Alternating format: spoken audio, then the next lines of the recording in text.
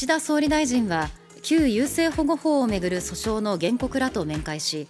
政府を代表して謝罪を申し上げると頭を下げました。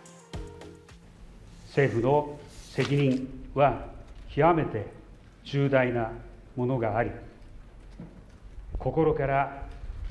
申し訳なく思っており政府を代表して謝罪を申し上げます。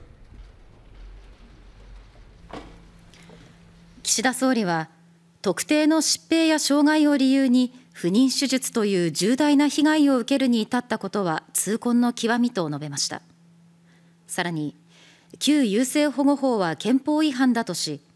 手術は個人の尊厳を蹂躙する人権侵害との認識を強調しました。